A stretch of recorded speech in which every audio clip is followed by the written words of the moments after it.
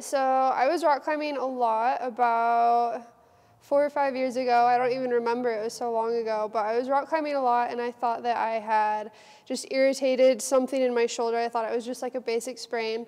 So, of course, I kept climbing. I would ice it, maybe take a couple days off, but always go back and climb. Um, never really gave my body a chance to heal. And so, my shoulder just kept getting worse and worse where it felt sore, it felt achy, like it just felt like muscles were, were pulling. Um, it was just really uncomfortable. I'd wake up in the morning and my, my shoulder would be just like kind of sticky up here. And so after probably about a year and a half is when I first went and seeked out help from a doctor. So I went to an orthopedic surgeon and first appointment he put in a cortisone shot without really explaining a lot about it to me. And so for the next two months, my shoulder was kind of better. It, it was functioning, it wasn't hurting as much. But after about a month and a half, two months, all the pain came back and nothing really changed. Um, he also recommended physical therapy, and so I was doing physical therapy. I ended up doing that for about six months with maybe a little bit of progress there, but not a ton. Um, I didn't really feel much difference in my shoulder. Um, it would feel a little bit better after appointments, but nothing ever lasted. And so I was still feeling all the same symptoms. I tried massage therapy after that. Uh, I did that for a whole year where I went and got massages. I mean, it was kind of nice, but um, didn't really fix anything. It would feel good for the next day or two, um, but the symptoms, they never really changed. It was always sore, it was always achy, things were just pulling, it felt uncomfortable to climb.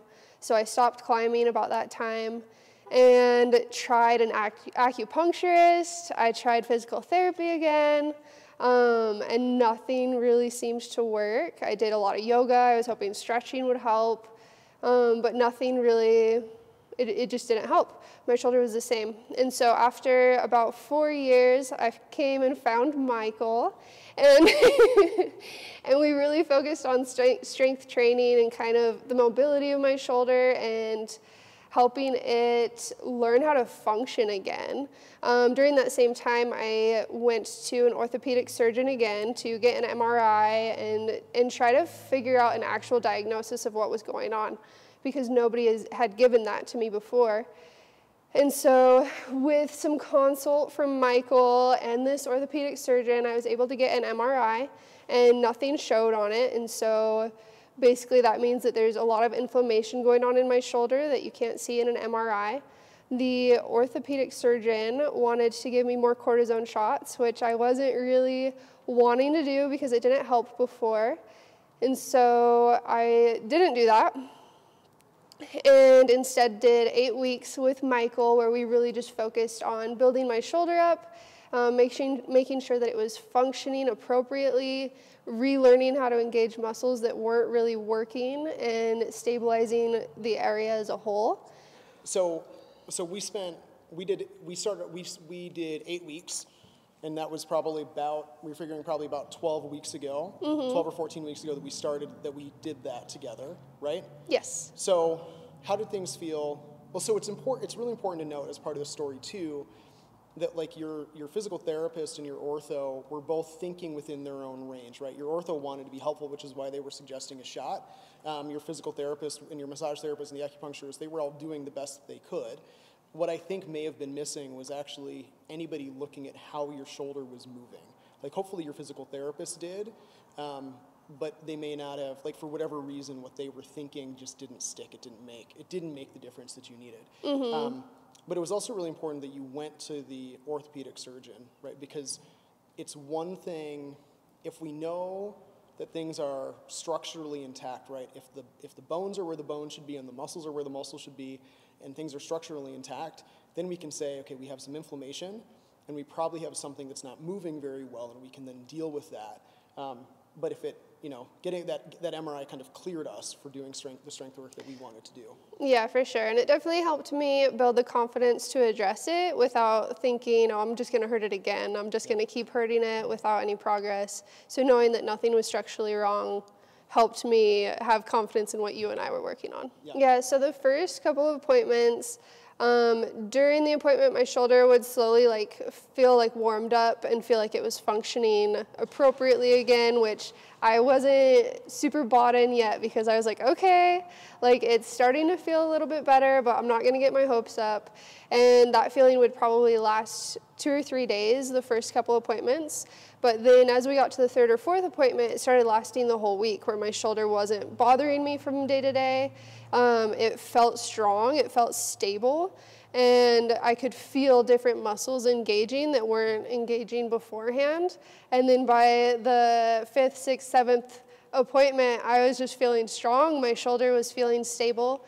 I felt like I had the skills to kind of reset when I had like slept on my shoulder wrong or like used it in a weird way.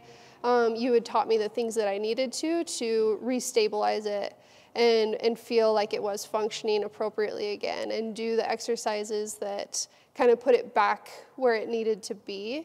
Um, even doing activities like lifting heavy objects, I was able to think through the process of like, okay, what muscles should be functioning right now so that my shoulder is supported in this action. Yeah. And that really, it, it was like, a, it clicked for me to yeah. be able to function in general. Um, in, in a good way that helps my shoulder rather than hurt it. Yeah. And so what we're gonna so what we're gonna do. Um, so Tiffany and I are going to walk through some of the exercises that we used to get that shoulder feeling really good because I want because I want you know everyone who's watching this to have that. Um, and the thing that's important to note too is the goal. Our the in, Tiffany wanted her, you wanted your shoulder to stop hurting. I wanted your shoulder to stop hurting, but I probably made it really clear on like day one and day two that like my job is not to actually deal with the pain. It's mm-hmm. to try to mm-hmm. improve how things are moving. And then often we see a resolution of pain as a result of that. And if we didn't, then we would have gone back to the ortho or the PT and said, yeah. The, the, what should have worked didn't work. Now we need to kind of like kick this up a notch. But we, but we were, we were lucky, right? Like we, we've, we've seen that progress. So the first thing that, that's important for us to understand is actually some anatomy of the shoulder. And I actually dislike the term the shoulder. We should generally be talking about the shoulder complex. And I'm going to point some stuff out on Tiffany so you make this clear. Um, so while she's standing here, I'm just going to poke around a little bit. Is it okay if I poke you some? Okay. Yep. So we have the ambulance going by. So we have the upper arm bone, the humerus. We have the, the collarbone, the clavicle coming across we have the shoulder blade on the back, and then we have the rib cage all through here. And all of those things actually work together to create the motion that we would ascribe to the shoulder. Like as a kid, we're taught in middle school science that the shoulder is a ball and socket joint like the hip. And it is, except that socket is a really dynamic thing. On your hip, it's just the pelvis that makes up the socket, that bowl. Um, but on the shoulder, that socket or bowl is created by the intersection of all of these various bones. And with all of those bones, there's also a ton of small muscle. And so whenever someone's dealing with shoulder pain, the first thing we have to consider is, is it one of these small muscles in the shoulder that's problematic, or is it a big muscle? And the problem can be a big muscle that is making a small muscle do too much work. So that wasn't what was going on for Tiffany, but that's often a problem that we have too, is the little muscles of the rotator cuff deep right through here get pissed off because the bigger muscles of the shoulder aren't working very well, or of the shoulder complex. Anatomy real quick, or muscle anatomy. Um, bicep, front of the arm, tricep, back of the arm. Delt, the cap on top of the shoulder, front, middle, rear components. Um, the pec comes right in from the arm, basically comes from this seam down to underneath the, into the chest or underneath the breast. Um, will you rotate this way for me? And then on the back side, we're gonna have upper trap or trap one, mid trap through the center, low trap down. We've got the lat coming in from the side, and then teres major cutting right underneath the armpit. Um, if, you're, if you're wearing a sports bra, then teres major is basically sitting right on top of that sports bra. And all of these muscles need to work together to make the shoulder work right. There are also deeper and smaller muscles. I'm not going to dig into the muscles of the rotator cuff. That's just not my domain. My domain is largely the bigger ones. What was going on for Tiffany a lot was a lot of tension up through here, right? I know, I'm, i know we're on the wrong side, but like it was up in this top of shoulder. And an easy way to think of this is that these guys are doing a lot of work because all of their friends through this other 300 or 270 degrees of the shoulder complex aren't right? We've got one muscle group that's doing a ton of work. And these are important. They can be really strong. They're not bad guys, but if they are the only one helping out, then shit doesn't work very well. Um, I'll have you rotate one more time so we can see your back. So what I'm gonna have Tiffany do is reach her arms out to the sides. And will you move your, or can I move your ponytail over your shoulder? Thanks, great. So palms forward for me. And what Tiffany is gonna do is really slowly sweep her arms up overhead. And I'm gonna have her stop at a, at a point. Now's pretty darn good. So just hang out here for a second. And I hope you guys can see the distance between her left shoulder and her right shoulder in that comparison. And I'm not, I'm not gonna judge what's going on. I'm not gonna try to dive too deep into this one right now, but it's uneven. Um, and in fact, I'll, you guys just have to take my word for it. This little muscle right here, upper trap on the right, is a lot more engaged than upper trap on the left. That upper trap on the left is doing some work because it's helping to support. This one on the right was doing way too much work part of what's going on here is this shoulder blade isn't rotating quite the way we want it to. So the first thing we work on is shoulder rotation. This is the Snow Angel, and we're gonna use the crossover symmetry bands today because we already have them set up. You don't need fancy bands like this. Simple uh, elastic bands trapped in a door frame can work pretty well. What we wanna do is set a fairly high angle uh, for the shoulder. So we're gonna cross the bands in front. Our position is starting palms down at the sides, and we're gonna simply bring the arms wide up overhead, and then wide and back down to the sides. So again, arms go wide, hands can come a little bit forward of the line of the ears, especially if the shoulder's been tweaked. We want this to feel like a smooth movement through the whole range of motion. And we're primarily trying to create an upwards and outwards rotation of the shoulder blade. So if I had my hand on someone's right shoulder blade, as they go through this exercise, they should be pulling my hand up and then pulling my hand back down. In our mission to get the shoulders working better and hopefully therefore also feeling better, the lat, the big muscle of the back, is a, is a prime driver. It's a big concern. And I know lots of people who are really strong who don't have a good neurological connection, a good mind muscle connection with their lat. And so we're gonna use a single band in order to, to get that. We need a band that's got a little bit of resistance to it. This can't be tight, this can't be terribly easy. And I'm just gonna set myself up so that band is in a straight line from the anchor all the way to my shoulder. I'm gonna pull the elbow in, and then I'm actually gonna flex this elbow down like I'm trying to squeeze a lemon inside my armpit. I'm gonna hold that flex, I'm gonna hold that muscle tension, and then I'm gonna slowly let my arm come forward. And the moment you lose that sensation, the moment you can no longer flex hard, come back in, reset the flex, and then slowly bring that arm forward. And then we'll repeat.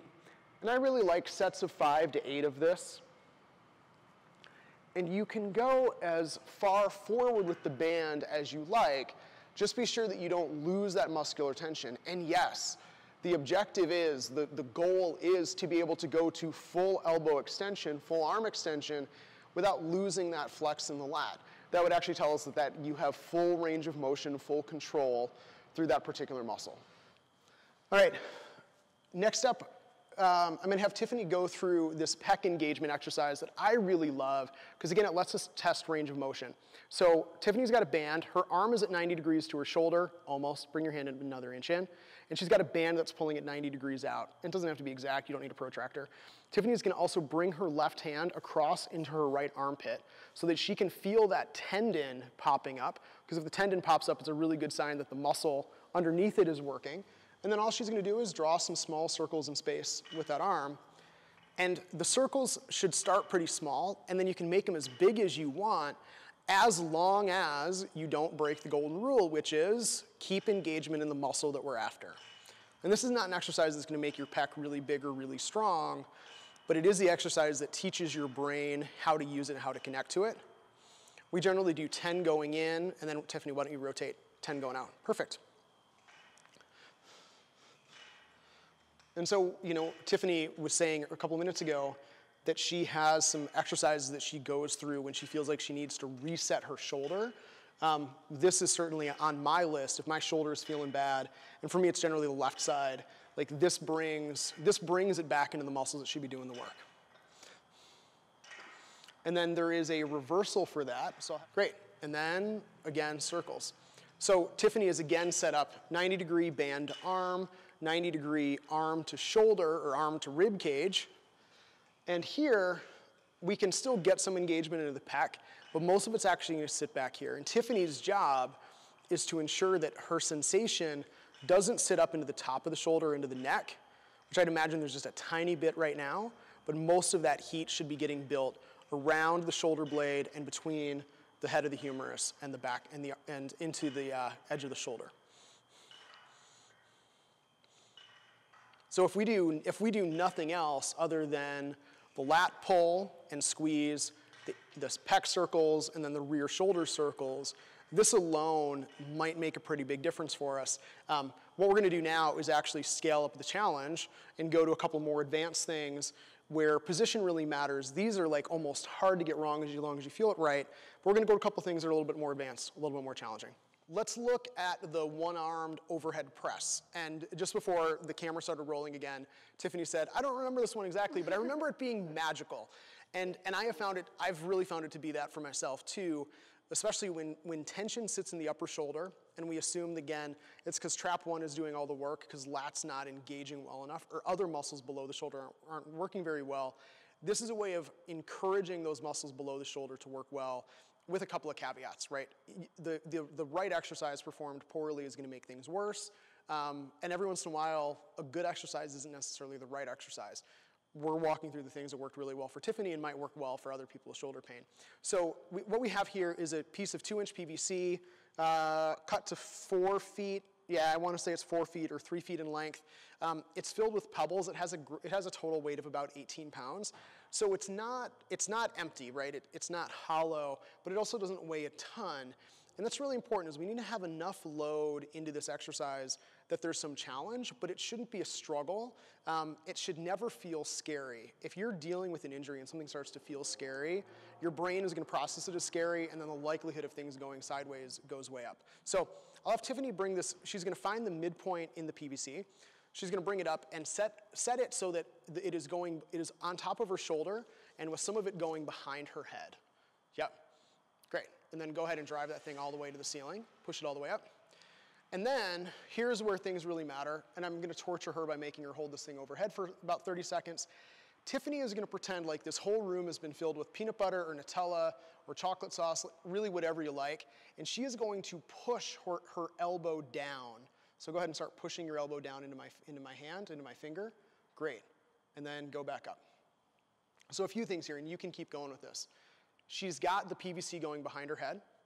Her elbow is pointing out to the side as far as it could go. She could probably rotate this elbow back a few more degrees even. There we go. And then the effort that she's feeling should be a pull down into this lat, down into this side of the armpit. I'm gonna have you do two more, but I want you to go really slow. I want you to feel like there's a rubber band that you have to pull down from the ceiling. You're pulling yourself down. The harder you work on the pull, the more we're gonna get out of this. Great. This is a really nice pace here. Inhale, elbow is wide, hand is wide. This is great. And go ahead and relax. Okay. Is that, is that still feeling good? Yeah, okay. that feels great. Great. So what we're, the, what's really important with that one-armed press, this is not a task that we necessarily train to get heavy. Like you can go heavy with this. It's kind of fun to go heavy, but if you're dealing with something that feels tweaking in the shoulder, stay away from heavy. Just find enough load that you have to actively work against gravity. When you get really good at this, it's actually fun to do it without any load at all and just pretend like you're hanging on to something and pretend like gravity is pulling you down really hard and you're gonna fight really hard. The more load you feel on top of the shoulder, the less effective it is. The more that you can get almost a cramp down the side of the body and into the, into the side of the rib cage, the better, because that's the lat and that's the thing that we're inherently after. And we're really kind of taking the lat inactivity uh, as a big as a big part of this equation, big part of what's going wrong. So that was the one-armed, the one-armed overhead press. We started by getting Tiffany to feel muscles around the shoulder, the pec, the lat, and then we started challenging them. The, we're gonna go to a, we're gonna go to a pull down, and we're gonna actually work two different versions of this. And it's really important to remember that it's not just what we do that matters, but it's also how we do it. And like the right exercise performed poorly, no good or different results. Um, a suboptimal exercise performed really well can actually get us a lot of a lot of uh, a, lot of progress. So we've got a lat we've got a lat pull down setup here. If you're going to a commercial gym, this is really easy. This is thirty dollars. You know, this is just thirty dollars worth of stuff from REI and Home Depot. So I'm gonna have Tiffany grab the handles, and we're gonna first go to a version of the pull down that is actually centered on the lat. So I'm gonna sit, Tiffany. I'm gonna sit right behind you, and here, is, here are the things that matter the most. First is that Tiffany's gonna keep her hands fairly wide on the bar. Um, she's gonna actually lean herself a little bit forward and then pull her shoulders back like she's trying to puff up her chest. And you guys don't have the right camera angle, but her, these guys just popped out. Her shoulder blades and her lats just got really wide on, just above her sports bra, which is fantastic. It tells us that she's already loading into the right stuff. Um, Tiffany knows this, but I'll remind you guys, we don't want to let the shoulders come up to the ears. We always want to stay slightly pulled down, especially if we're rehabbing something. Once we get stronger, we can allow for a little bit more movement, but it, from a rehab perspective, we really want to stay braced down. So I'll have Tiffany just go for five of these. That's it, right? She's pulling her hands down towards, down to the line of her chest. She's not trying to go really low. I am going to challenge her on this one to pull down squeeze and flex into the sides, and then maintain that as she goes back out. And her arms don't go quite as far that time. That's okay, right? Again, we want to use the range of